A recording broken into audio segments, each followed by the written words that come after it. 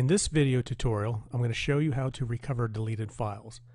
Now, we're talking about deleted files that you may have accidentally deleted um, or emptied the recycle bin or you reformatted a hard drive or a thumb drive or an SD card and now you want to get those files back. Um, so the way that the way that's done is is you got to use some type of software to recover the data. There's software that can actually look in your computer um, differently than you can say in Windows Explorer, and it can and can actually dig and find those files for you.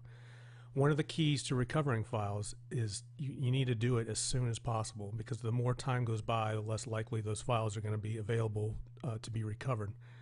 So if you're you know you're getting into weeks and months, um, you know you're going to be installing. Uh, new software, uninstalling software, you're going to be adding files, deleting files, and the more that activity that goes on, the more likely that those files um, are going to be overwritten and will not be able to be recovered.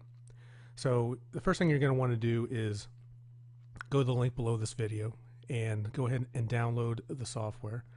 Um, it's it's uh, you can see it on my screen, and what it is is it's, a free download. And what the what the free download is going to allow you to do is go ahead and scan those areas of your computer that you want to scan to determine if the files can be recovered. And there's no there's no cost to do that at all. So you want to make sure that you know so you make sure that the files are actually there. So um, the other reason I like this software is is because there's a lot of there are some free versions of software out there. Um, a lot of times they require um, you know for you to install a toolbar or they may install some type of adware or things like that. And you know I, I don't I prefer just to, to work with uh, companies that are more reputable. Um, the ParetoLogic that uh, does this software is a Microsoft partner, as you can see on this page, and they're also accredited by the Better Business Bureau. So um, I, I feel comfortable working with them, and I've used the software, and the software works great. So, and that's the bottom line. So, the first thing you want to do is go ahead and uh, download and install the software, and then I'll walk you through uh, how I use it. Software. Um, you go ahead and launch it, and this is what you'll see. This is the first page, and you'll notice over here on the left that there's there's some tabs. There's one uh, that says scan. There's one that's advanced. One that's email. Um, we're going to be concerned with the scan or the advanced tabs. Emails only if you're trying to locate uh, an email file. So um, in in this case, if you're doing an entire drive, you can do just do the quick scan um, if you, or I'm sorry, not the entire drive, but actually the entire computer, and it'll scan it everything and give you a list of all all the files. Um, it is, does say quick scan, but it does take about you know depending on the size of the file. I mean, when I've run it, it's take maybe 10 or 15 minutes.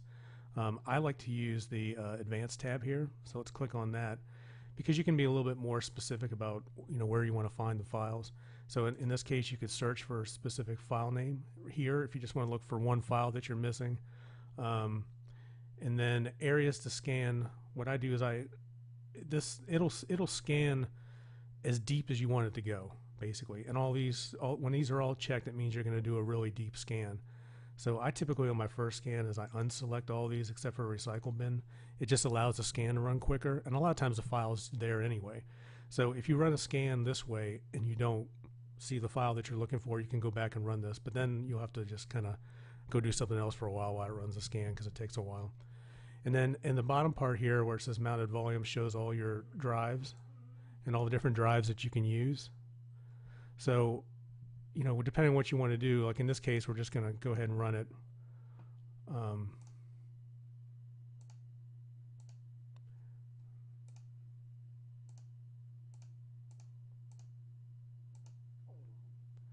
okay, we're just going to do it on this L drive here. So we're not going to do any of these other drives, so I've unchecked those and then just hit start scan. Okay, and it'll show you, um, I guess I did have that other drive check, but that's fine. In this case, what we're seeing is on that L drive, it groups them by images, documents, or whatever. So you can, you know, you can do, you know, by individual documents, by images. So in this case, you know, if we wanted to recover this one, in fact, it gives you a little uh, mouse over to show you what, what the image is in case you need to see that. And then you just select what you want to select, or you can select all. And then hit the recover button. Now, when you hit the recover button, it will require you to register the software in order to recover the files. So again, we did the free scan to see if the files are recoverable. If they are, then you'll have to register it um, to in order to recover the files.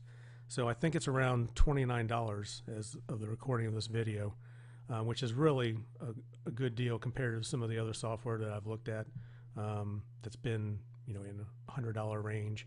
And again, you know, I've worked with free software and I just don't get the results I want out of that, or I don't like the fact that I have to do uh, adware type stuff. So anyway, that's uh, how you recover your files, and uh, good luck.